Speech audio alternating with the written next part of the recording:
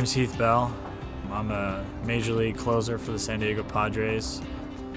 You know, I became a Christian like a little over a year ago, and it's pretty much uh, saved my life, saved my marriage, and um, made me so much better to my kids.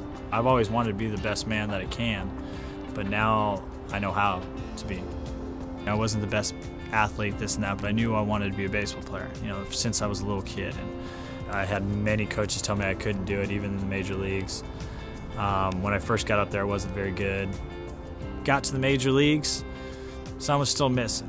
Then I started becoming a star in the major leagues, went to the All Star game, some was still missing. And I'm like, God, what's going on? You know, I'm trying to figure this out. And I didn't, I wasn't born in a religious uh, family whatsoever. And I accepted um, Jesus Christ as my Savior. And it was just, it's funny because that hole in my heart was filled. I probably had one of the best years of my career. You know, sometimes guys get consumed with going out, living that major league life that uh, you always hear about, and um, before you know it, you don't you don't realize who you are. If you love everything about this world, this life, this, you know, and you let it consume you, that's that's how you're going to lose yourself.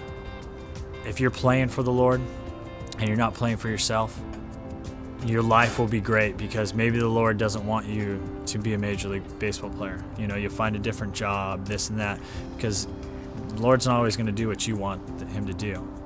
I think if you're not consumed of this world and all these things, and you know, then you'll live in eternity in heaven. And you know, hopefully that's where I'm going. if you play for the Lord, everything you do is for Him, and you praise Him. If you get the job done in baseball, or if you don't get the job, at the end of the night, you're going to be happy. With God in my life, I'm gonna be happy, you know, because I'm trying to please Him, and every day I try to please Him when I wake up and go to bed, and um, and it's just a great feeling trying to please somebody else and helping somebody. And it's not all about you.